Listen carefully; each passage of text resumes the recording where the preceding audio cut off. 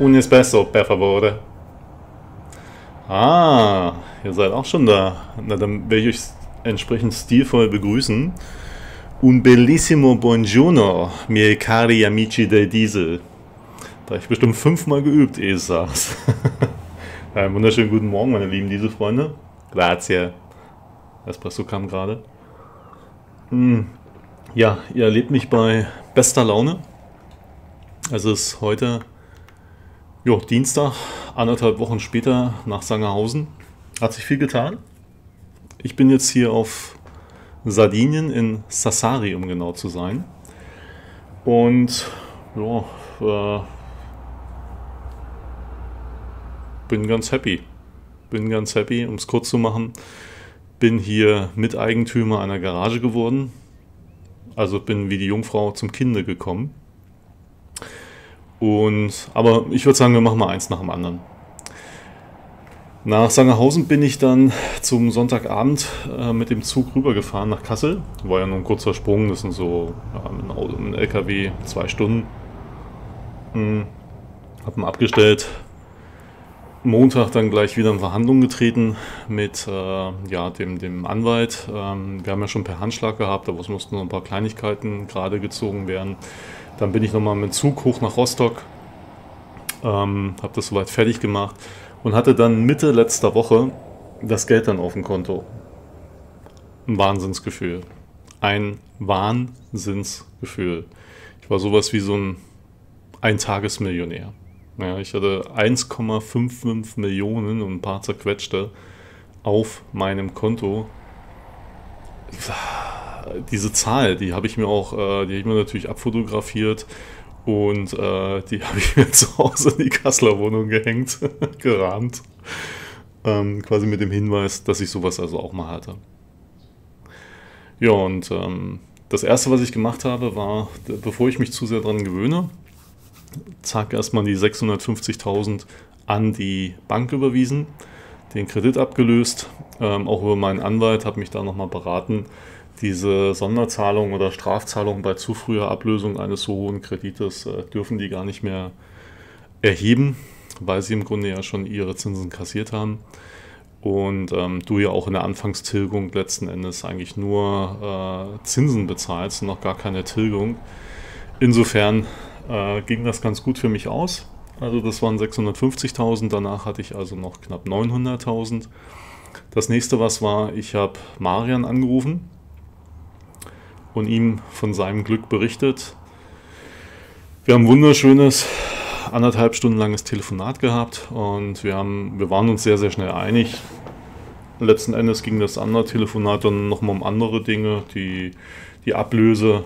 Äh, das hat auch alles verstanden, also äh, das kann auch nachvollziehen und er will das auch, ähm, weil er dann auch selber wieder selbstständiger ist und sich auch um nichts anderes Gedanken machen muss, als nur um seine eigene kleine Spedition. Ähm, ich habe ihm jetzt 200.000 Euro überwiesen. Notariell haben wir ihn auch schon aus der Firma raus.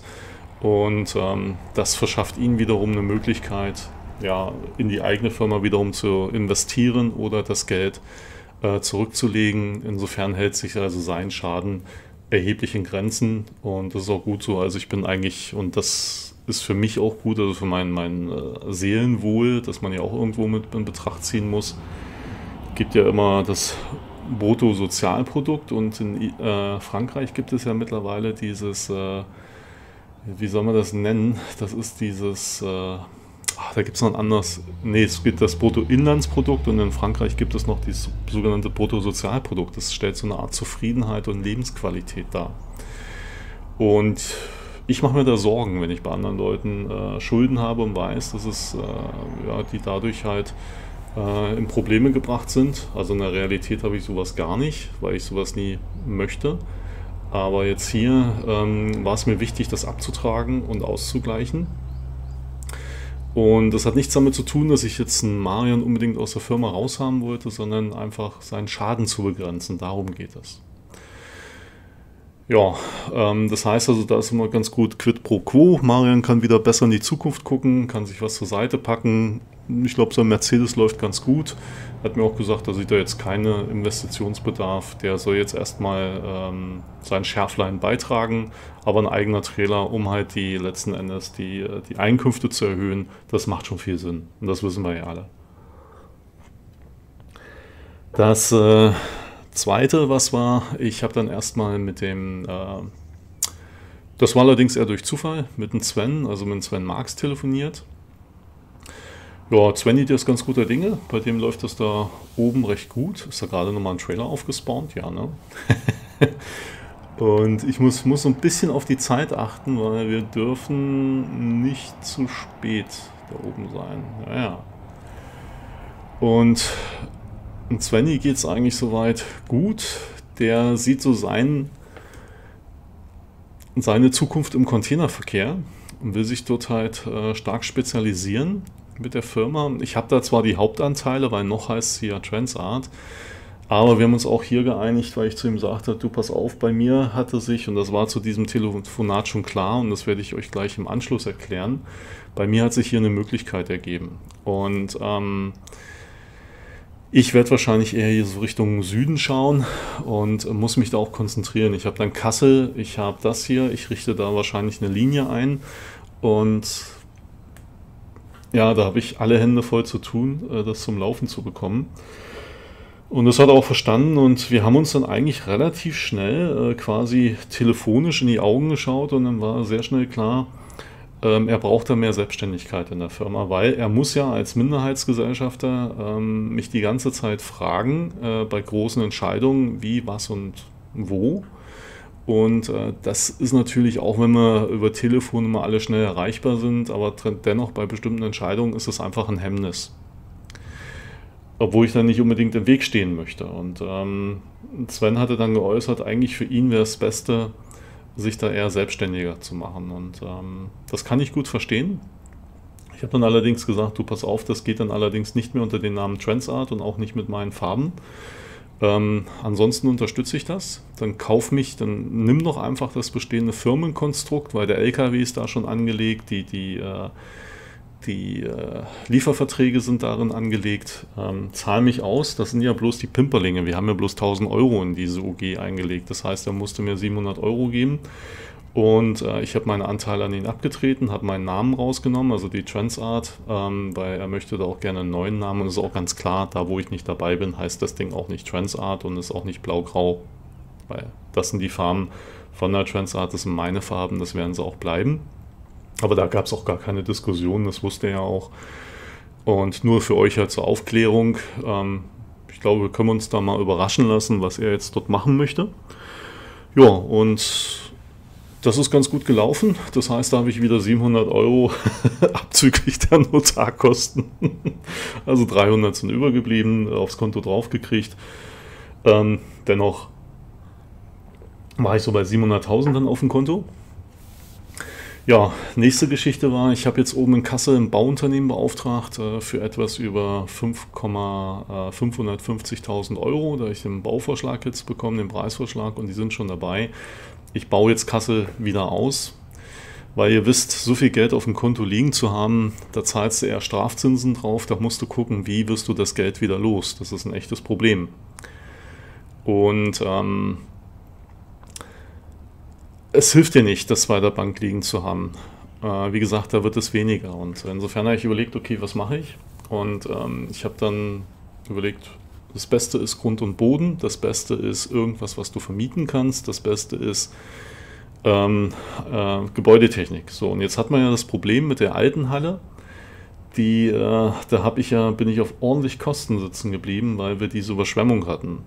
Die Stadt Kassel hat da mittlerweile aber darauf reagiert. Es gibt eine Versicherung der Stadt Kassel dass die, und des Landkreises, äh, wie aber auch des Landes Hessen, weil sonst ist das ganz schädlich für die Wirtschaftsstruktur, dort für freie Flussläufe zu sorgen, denn das kam ja daher, dass wir letzten Endes ähm, die Überschwemmung durch verstopfte Wehranlagen und so weiter hatten, das Wasser sich hochgestaut hatten durch ähm, ähm, ja, wie nennt man das? Also Baumstümpfe, Bäume, also Schwemmgut letzten Endes. Und da gibt es eine Versicherung, dass wenn das nochmal auftritt, dann springt das Land Hessen ein. Das können die Versicherungen übernehmen und so konnte ich also jetzt auch die neu zu errichtende Halle ähm, versichern. Insofern, also auf der Immobilie, die wir kennen, bauen wir jetzt gerade die Halle ordentlich aus. Das ist ja auch ein Aushängeschild für meine Firma und ja, ich bin jetzt zwar noch Einzelkämpfer, aber so ein klein wenig wachsen, um mehr ein bisschen Substanz reinzukriegen, das muss ich schon. Weil überlegt mal, wenn ich mal krank bin oder so und ich falle aus, ähm, dann habe ich ein Problem. Also insofern ähm, war ich dann so bei 150.000 Euro. Und ihr habt es ja vorhin schon gesehen am Kontostand. Äh, ich bin jetzt bei 72.000 Euro. Und äh, jetzt muss man gucken, ja, weil ich muss ja ein bisschen mit der Pause arbeiten. Äh, ich habe äh, dann einen Anruf bekommen von zwei sehr lieben Freunden.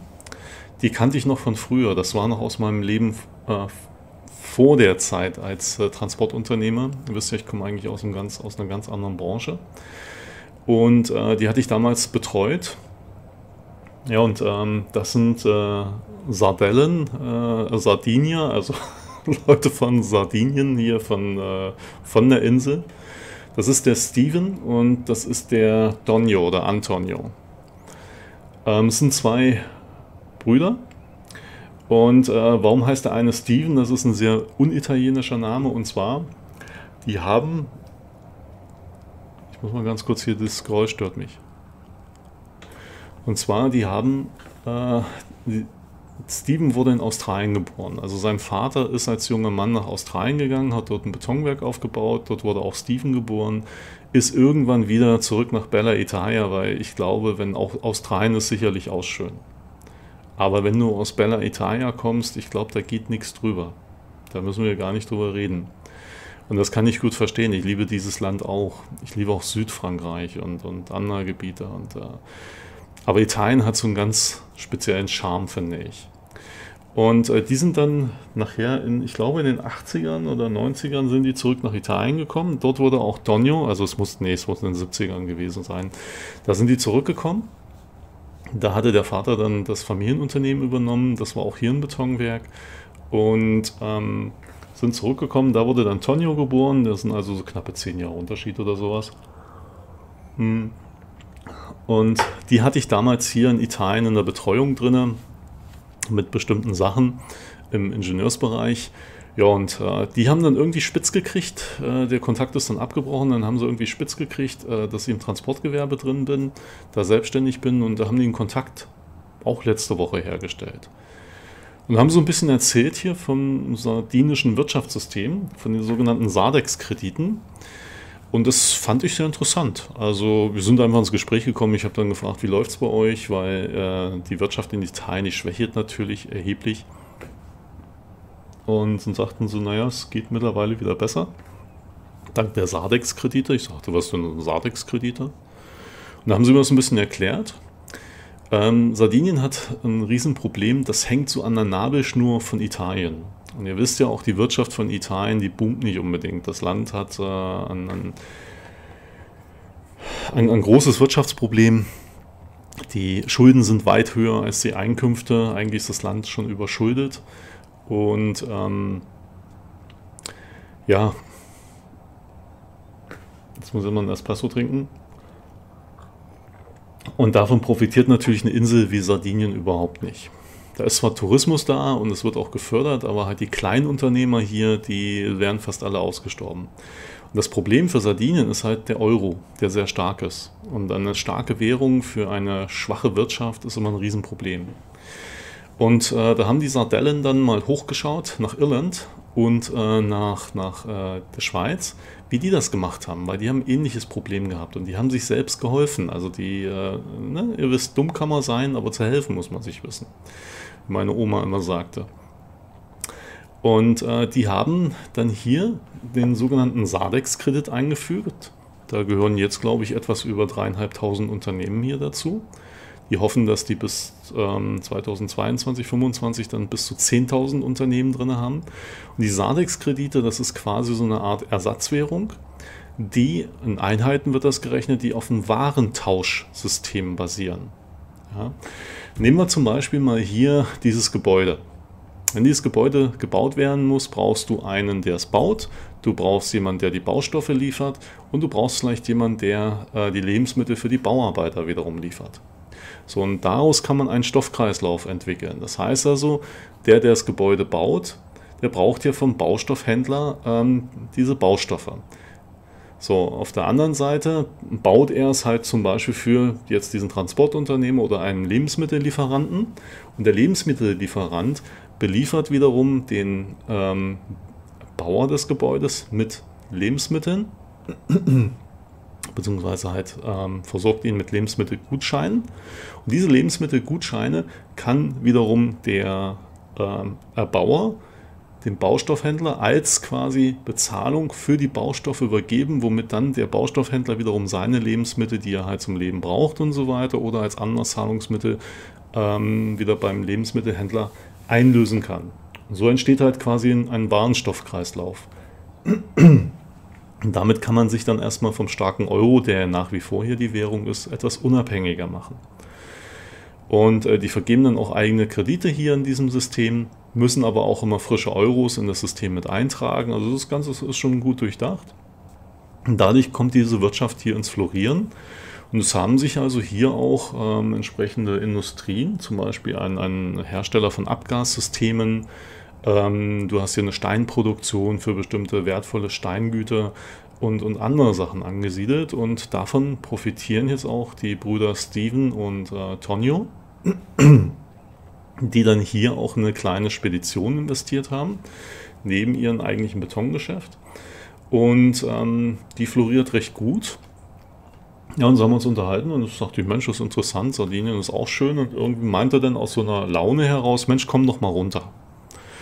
Da sagte ich, naja, momentan, ich habe ja gut Geld auf dem Konto und sich mal kurz mal ausruhen ist vielleicht auch nicht verkehrt. Und dann bin ich halt, ja, bin dann runtergeflogen hier nach Sardinien, noch mit etwas über 150.000 Euro im Gepäck und bin jetzt seit äh, Ende letzter Woche, also so vier, fünf Tage bin ich jetzt hier und es ist total schön, muss man sagen. Also es ist wirklich schön und ähm, ja, äh, ich habe gleich mal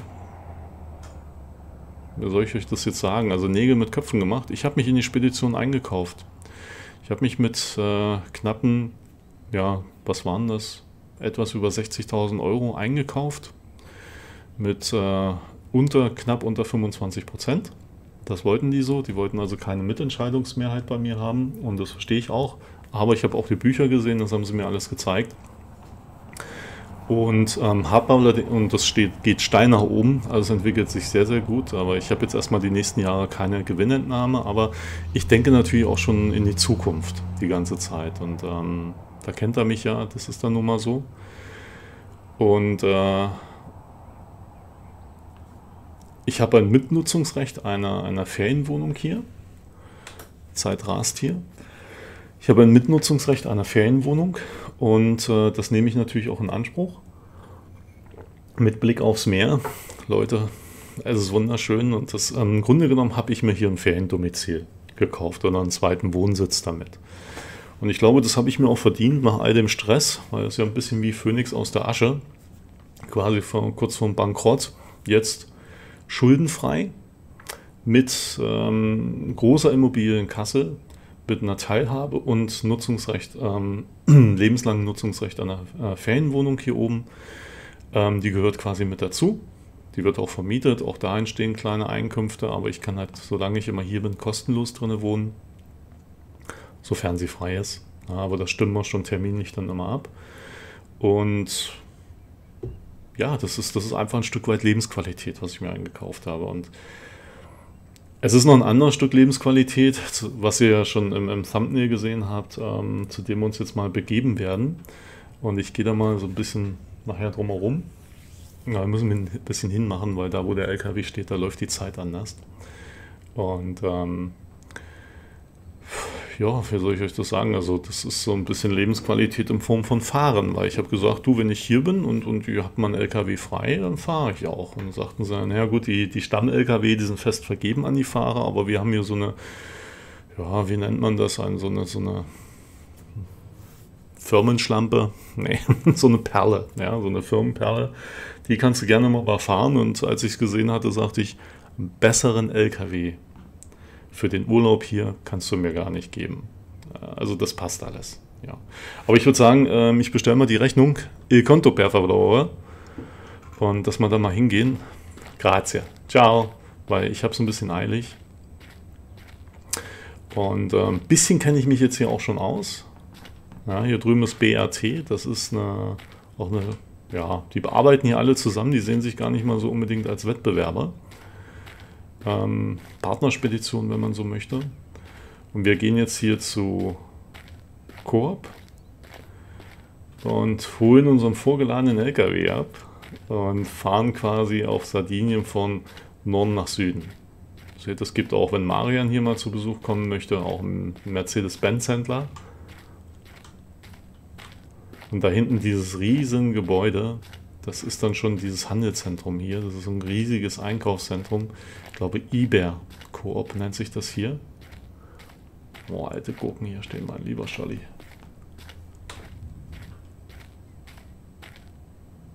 Ja.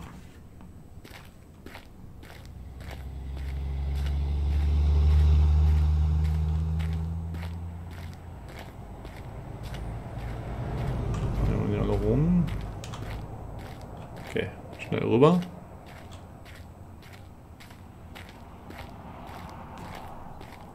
Mal wieder ein bisschen mit der Pause spielen. Ja, ansonsten, das ist halt so ein übliches ähm, ja, Industriezentrum. Das jetzt, sieht aus wie überall, nur dass du halt hier ein bisschen mehr Sonne hast als anderswo. So, gucken hier. Auch mit Schienen ausgestattet, also schon recht modern hier alles im Werksverkehr.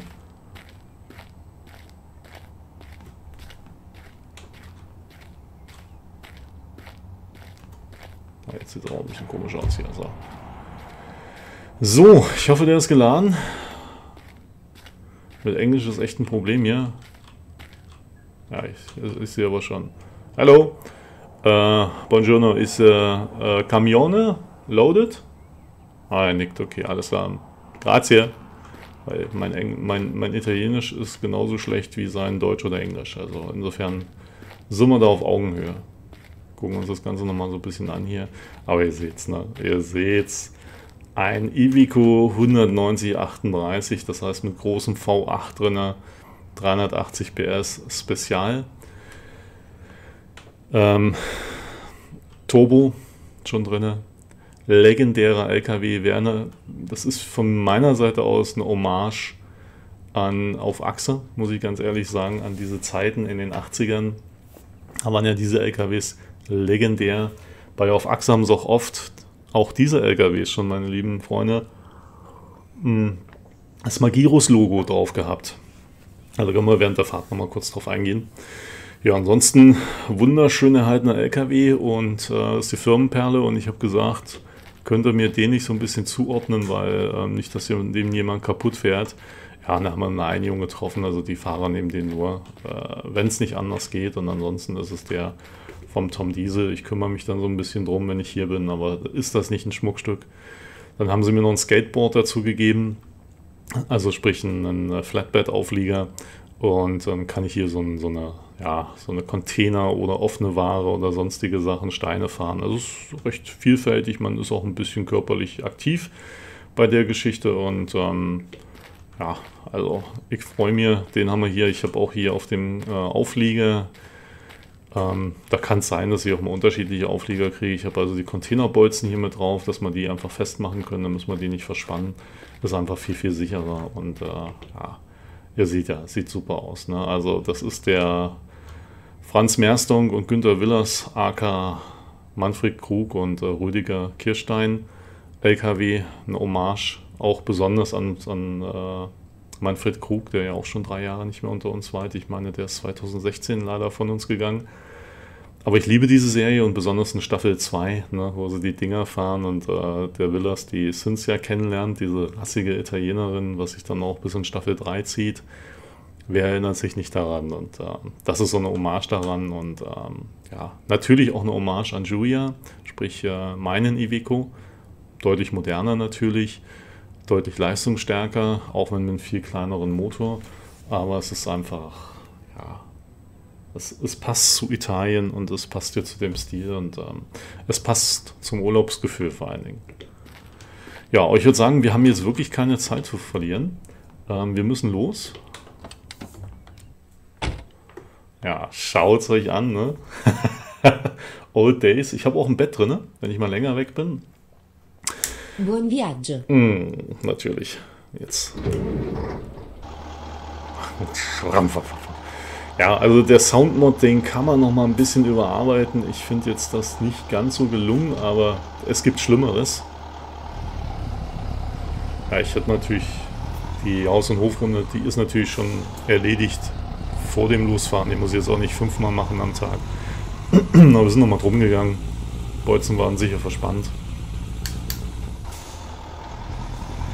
Was ich nochmal gemacht hatte hier bei dem Mod, das ist der vom Equalizer, da müsst ihr einfach gucken nach ähm, ETS2 IWCO 190.38, wenn euch das interessiert, für die 1.35er Version, das ist auch für DX11.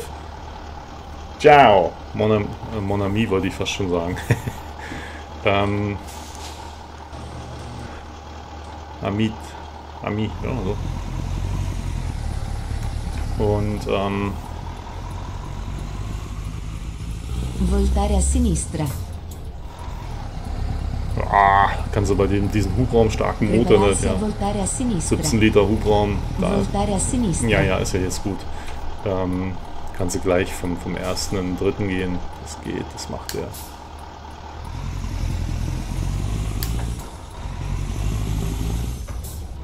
Ähm, sind auch nicht super schwer. Haben 8 Tonnen, glaube ich, Plastikmüll drauf.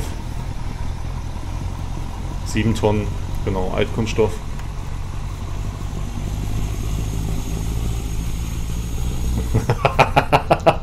da schlägt das Herz höher. Da hast du sofort, ähm, heitert sich hier die Stimmung auf und äh, wenn den Burschen da unter dir, dir hämmern spürst, destra. ist wirklich super ein Schuss, der LKW.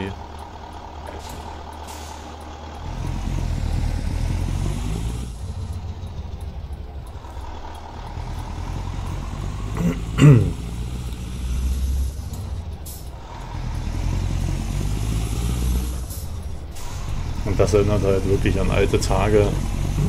Auch an meine Tour damals, äh, letztes Jahr, ist auch schon ein Jahr her. Fröhliches Protteln am Monte Casino. Da hatte ich ja schon mal so, so ein Recken hier mit, ihr wisst, mit so einem komischen Tankauflieger, wo die, die Achse sich nicht senken ließ und halt typisch Italien. Ne? So, hier saß man in dem kleinen Café.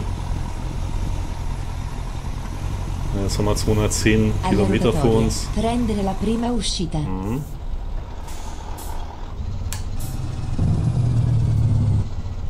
Uscire adesso.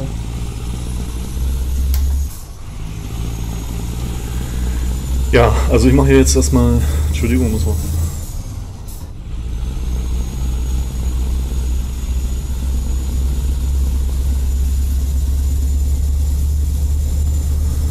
Mache jetzt hier erstmal sowas wie Urlaub, kann das aber auch nicht ins Endlose strecken. Ich habe zwar 72.000 jetzt auf dem Konto, aber äh, es sind natürlich auch, es kommt, oh ich muss Lichter machen, Italien, Licht. Ähm, ich habe meinen.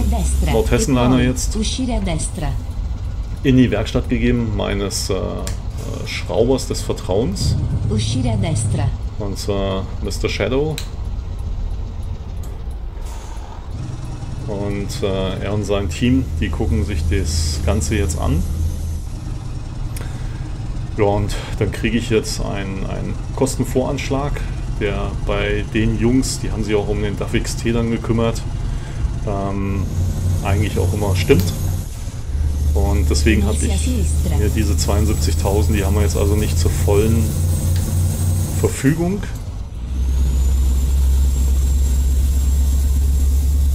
Sondern äh, da geht einfach ein Anteil runter. Und da muss man dann gucken, also das mache ich aber dann auch zusammen mit ihm, ähm, ist das noch wirtschaftlich, den Nordhessen-Liner wieder in Stand zu setzen? Weil äh, irgendwann musst du dich dann natürlich auch fragen. Das eine sind halt die, ja, die Emotionen. Und was ich mir dann auch sicherlich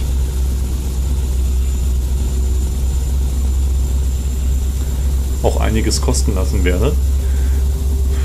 Weil ich, da, da hängt bei mir halt viel mit drin. Das ist äh, der Anfangstruck und äh, ihr wisst ja, ich investiere dann gerne. Das muss nicht immer sehr wirtschaftlich sein. Äh, der Tom und, und halt ähm, Tuning Stores, das ist immer so eine eigene Geschichte, das ist wie Frauen- und Schuhladen oder Handtaschen. Äh, das muss auch nicht immer Sinn machen, aber irgendwie ja, kann ich da nicht anders. Da bin ich auch in mir gefangen. Und da hat jeder halt so irgendwo seine Macke. Und meine ist es halt, die LKWs dann ins Firmen-CI zu bringen und, und halt äh, nach meinem Gusto schick zu machen. Ja, und äh, muss man mal gucken, was kostet. Aber ansonsten, wenn es halt zu teuer wird, weil 70.000 will ich da auch nicht investieren, dann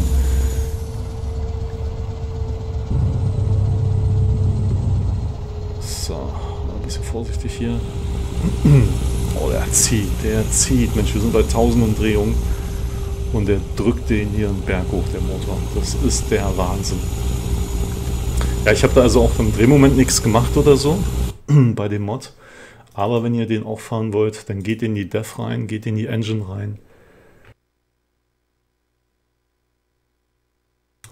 und äh, arbeitet an der Drehmomentkurve. Ihr seht, ich habe hier am Drehmoment selber nichts gemacht. Der hat auch die 381 PS. Der hat das auch zwischen 1050 und 1550, das hohe Drehmoment. Aber was ich gemacht habe, weil der Modder hat hier bei 350 Umdrehungen ist das Drehmoment 0. Und das ist natürlich Quatsch. Und ähm, da hat immer noch ein, so ein Rest auch Schleppmoment drin. Und da ich ein bisschen gearbeitet, das habe ich mal so auf 30% genommen, dass du den LKW auch anfahren kannst, weil sonst stirbt er dir mal ab halt unter Anfahrlast. Und ähm, da müsst ihr dann reingehen, da müsst ihr mal ein bisschen nach eurem Gusto dann, dann drinne feilen, weil ansonsten ist der im Grunde genommen unfahrbar. Ja, also zumindest halt im Anfahren. Das ist ganz furchtbar. Ja. Jetzt habe ich ein bisschen Faden verloren. Jetzt habe ich wirklich den Faden verloren. Achso. Und äh, Nordhessen-Liner schauen wir dann, was es kostet. Aber ich möchte ihn schon gerne wieder haben. Und äh, aber wenn das wirklich in zu hohe Kosten reingeht, dann macht es eigentlich mehr Sinn, das, äh, das Wrack sozusagen zu verkaufen oder in Zahlung zu geben und äh, sich ein anderes Fahrzeug dann dafür zu holen. Und dann bräuchte ich ehrlich gesagt auch keins, weil dann bleibe ich erstmal alleine und fahre mit, mit Julia. Ja. Aber wenn wir es vernünftig wieder hinkriegen, und das ist bei mir einfach so eine Herzensangelegenheit, dann, äh, ja, dann wäre es natürlich schön. Ja, das wäre dann richtig schön. Ja.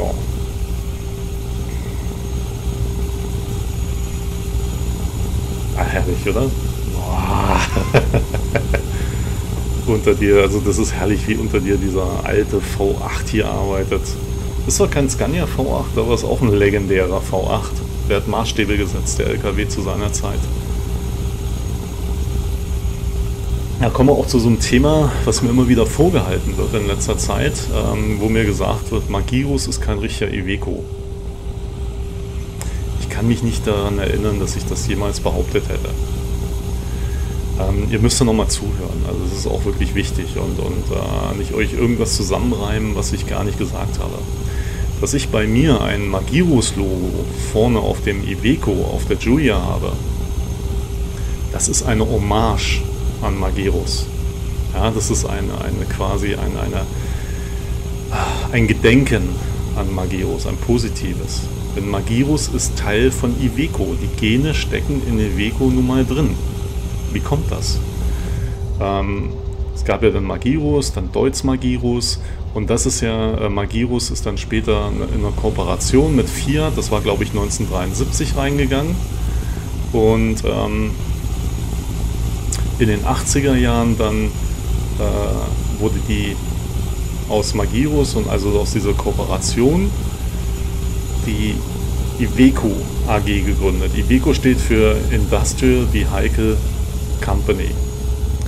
Und äh, das ist dann aus dem Nutzfahrzeugbereich von Fiat und Magirus entstanden.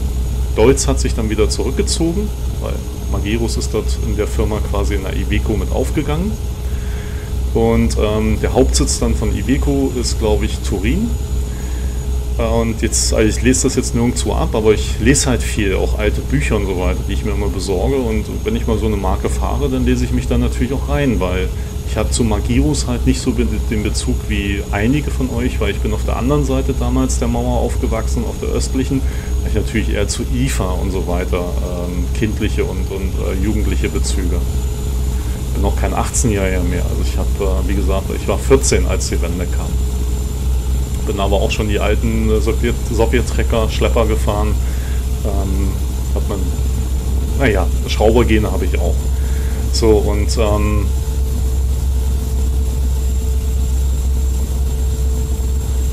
Magirus ist, äh, für mich ist eine alte Marke. Ich finde gerade die Sirius oder die S3500, das waren ja Anfang der 50er, ich glaube 1951 auf der Motorausstellung, diese legendären Rundhauber, ne? das sind für mich so Legenden, die habe ich auch früher schon ein bisschen mitbekommen. Und ähm, es ist unabkennbar, dass Magirus ein Teil von Iveco ist. Denn wie gesagt, dieses äh, in Ulm, die Entwicklungsabteilung, ich glaube mit 900 oder 800 Angestellten dort, die existiert ja nach wie vor noch. Und die Magirus GmbH existiert ja auch oder die wurde dann gegründet, die stellt dann diese Feuerwehrfahrzeuge und, und Extremfahrzeuge her. Und aber die modernen Iveco, die Highway und S-Way beispielsweise, die werden ja in Ulm entwickelt und in Spanien gebaut. Da erkläre mir bitte mal einer von euch, was das noch mit Pizzablech zu tun hat. Und äh, deswegen, also in Italien wird da gar nicht mehr so viel gemacht was ich für Italien selber gar nicht so gut finde, weil die brauchen auch starke Wirtschaftsmarken und äh, vor allen Dingen äh, arbeitsplatzschaffende Marken und Firmen. Und das ist halt, äh, wenn du das immer auslagerst, ein Problem. Aber wie gesagt, der Maschinenbau und Maschinenentwicklung, das passiert in Ulm. Also bitte da mir nicht die Worte rumdrehen und sagen, ich hätte gesagt, äh, Iveco ist Magirus und Magirus ist, oder ein Iveco ist ein Magirus. Nein, aber es stecken Gene davon drin. Und wenn man mal mit einem richtig vernünftigen Lkw-Fahrer spricht, und das mache ich gerade an dieser Stelle, schöne Grüße, mein lieber Björn. Und das hat wirklich, da ich so die Augenbrauen hochgezogen habe, gedacht, wo ich das gehört habe, wir sind da im sehr intensiven Austausch und dachte, Mensch, das hätte ich jetzt nicht gedacht. Der sagte, ein perfekter LKW würde aus vier Marken bestehen. Und diese vier Marken. E Mache ich. Ja, jawohl. Diese vier Marken sind Scania, DAF, Volvo und Iveco. Und das ist von jemandem, der wirklich weiß, wovon er spricht, ähm, der sich selbst eine Spedition aufgebaut hat. Keine Angst, Björn, ich gehe da nicht weiter drauf ein. Ähm, es bleibt erstmal unter uns, bis das auch alles zwischen uns durch ist. Und ich stehe da auch zu meinem Wort. Und ähm, mache ich. Das ist natürlich blöd, das fahren wir hier rein. Und er sagte, vorne Armaturen sitzen, Scania. Ja, also vorne das äh, alles und Schränke und so weiter, Scania. Hinten Bettbereich und so weiter. DAF. Ähm, Getriebe, Volvo. Und jetzt kommt's. Motoren, Iveco. Also die modernen, weil er sagt, die sind äh, sehr durchzugstark, sehr gute Motoren und das hat mich dann schon überrascht, sage ich mal, und gewundert. Und ähm, damit hätte ich jetzt nicht so gerechnet. Aber ihr seht es. Ich weiß, die, die, die totalen äh, Scania-Fans unter euch, die rümpfen jetzt die Nase und sagen, Gottes Willen, Iveco äh, geht gar nicht. Doch, das geht schon. Weil so richtig schlechte LKWs heute, die gibt es gar nicht mehr. Und äh, ich weiß, dass natürlich äh, Iveco auch mal ein Fahrzeug rausgebracht hat, was wirklich nicht mehr so gut war in der Qualität. Aber das machen die mittlerweile auch wieder wett. Und ähm, die neuen Highways und so weiter sind gute Fahrzeuge, wenn du mit den Fahrern sprichst. Die hat aber auch ein Mitteilungsbedürfnis hier. Äh, rassige, stramme Italienerin. Ne? Erinnert ihr euch hier an Auf Achse? Die Cynthia? ja. Mm. Prepararsi a voltare a destra. Oh, herrlich. Ich, ich liebe es, dass ich dieses Fahrzeug hier fahren darf. Alleine dafür haben sich, hat sich dieses Investment hier schon gelohnt. Voltare a destra.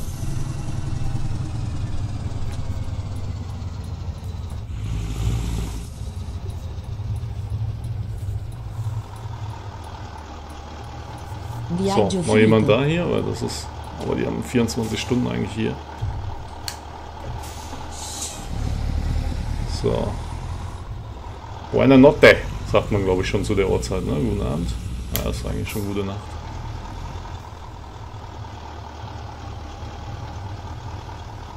Darf ich denn hier hin? Navi zeigt mir da eine Ecke an, da hinten irgendwo.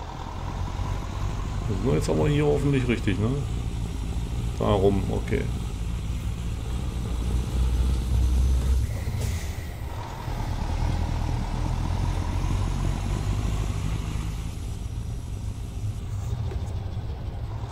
Scusi. Um, this is a load from Sassari. I have here plastic garbage. Or recycling. What do you want? Okay. Jetzt soll mich einfach da hinstellen. Hat da hinten gewunken.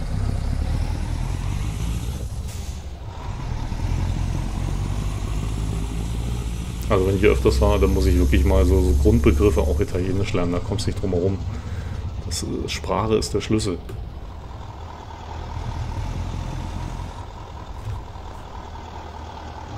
So.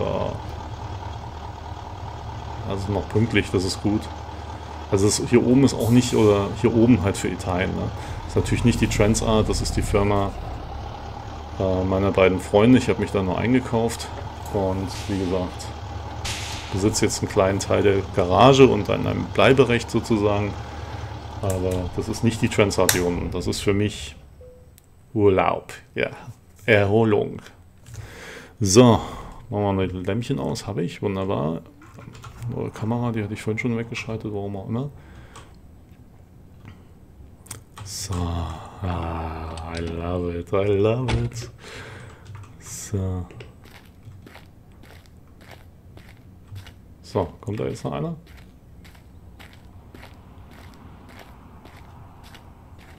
Ich warte mal hier, ne? Ja, so würde ich mal sagen, ne? Ach, da hinten mit dem Stapler, der startet schon. Wunderbar. Und wenn wir hier durch sind, dann habe ich noch eine Ansage für euch, weil wir machen, wir fahren jetzt nicht mehr weiter. Das reicht für heute und für die Folge, war halt viel Quatscherei.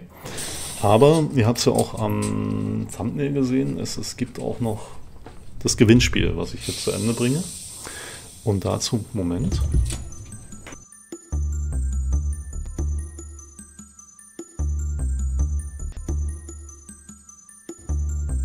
So, da bin ich wieder. Ich muss nur kurz den Zettel holen. Ähm, wir haben ja dieses Gewinnspiel. Da geht es ja um diesen 200 Euro Hauptgewinn und verschiedene Nebengewinne. Ähm, ich verlinke euch unten im Video oder in der Videobeschreibung auch nochmal das, äh, das Eingangsvideo zu diesem Gewinnspiel. Und aber machen wir es jetzt mal kurz. Moment, ich setze mal einen Schnitt rein, dass ich weiß später, wo ich die, die Buchstaben einblende. So, Buchstabenkombination, die letzte quasi ist 20 großes Y. Nochmal 20 Y groß geschrieben. Es ist ganz wichtig, dass ihr diese Zahlen- und Buchstabenkombination, die Zahl gibt halt an, an welcher Stelle der Buchstabe oder halt die Zahl sitzt, ähm, dass ihr das genauso schreibt, wie ich euch das angegeben habe. Ja? Und ähm, das ist extremst wichtig. Sonst kommt ihr nicht auf dieses Video. So. Das heißt also, das, was ihr da habt, ist ein Link. Wenn ihr das genauso eingebt oben bei euch in der Maske, dann kommt ihr zu dem Video und dort schreibt ihr dann rein Hashtag Andreas Schubert. Ja? Ihr habt bis Ende September Zeit bis zum letzten Septembertag. Das heißt, wer jetzt noch nicht die ganzen Videos, und das müsst ihr machen, der Hauptgewinn ist es wert. Äh, das erwarte ich auch. Ähm, ihr habt jetzt bis Ende September Zeit, Und deswegen deaktiviere ich auch die Kommentare jetzt unter diesem Video, dass ihr euch da auch nicht, nicht austauschen könnt, weil jeder soll schon für sich alleine auch das lösen. Ähm, ihr habt jetzt bis Ende September Zeit. Äh, sagt gleich mal, ähm, den ganzen Code euch nochmal zu holen. Ihr müsst nur nach in den Videos, und da könnt ihr bei ETS oder ATS, ihr müsst nicht beide Serien gucken. Also in beiden Serien jeweils werden alle äh, Codes angegeben. Und da guckt ihr dann auf Thumbnail, da steht immer Rot Gewinnspiel mit drauf. Und wenn ihr diese Codes nicht habt und gerne beim Gewinnspiel teilnehmen wollt, dann müsst ihr euch diese ganzen Folgen anschauen, äh, zumindest immer bis zu dem Zeitpunkt, wo ich den Code angebe. Ja, weil dieses Gewinnspiel richtet sich einfach an die Leute, die auch meine äh, Serie hier verfolgen. Und damit ihr wirklich jetzt auch genügend Zeit habt, und ich habe mir auch viel Zeit genommen, das jetzt zu Ende zu bringen, ähm, habt ihr jetzt den gesamten Monat September Zeit. Dann ist das, das quasi die Deadline. Dann wähle ich das aus. Das kommt dann alles in eine Box. Dann wird der Gewinner gezogen oder die Gewinner. Sind ja mehrere Preise. Und dann geht es quasi äh, in die Bekanntgabe und dann kriegt ihr auch die Preise. Das gleiche mache ich im Übrigen auch im ATS-Video im nächsten, was kommt. Also auch da wird dann der Gewinncode nochmal angegeben. Ja, also nochmal zur Wiederholung. 20 Y groß. Letzter Code. Ja, wunderbar. Ich denke, dann haben wir alles. Ähm, ich verabschiede mich. Wie gesagt, es werden jetzt ein paar weniger Videos in den nächsten äh, Wochen, weil ich, wie gesagt, tatsächlich im Urlaub bin und tatsächlich nach mit meinem Bulli oder wir fahren mit unserem Bulli nach äh, in Kalifornien, nach Süditalien. Wir genießen das, wir sind Camper. So Richtung Bari, vielleicht auch Sizilien, aber auf jeden Fall Vesuv, äh, die Mauer und äh, Pompeji und so weiter wollen wir gerne sehen. Und wir hoffen, dass es halt jetzt von der Jahreszeit auch so ist, dass die Haupttouristenströme da auch durch sind. Und ähm, ja, ich wünsche euch bis dahin eine schöne Zeit. Ich habe noch ein paar Videos vorbereitet. Also ihr kriegt vielleicht in einer Woche zwei Videos äh, kredenzt. Eins davon vermutlich ATS und eins dann ETS. Aber ich läute das jetzt hier mal mit diesem Urlaubsstimmungsvideo ein.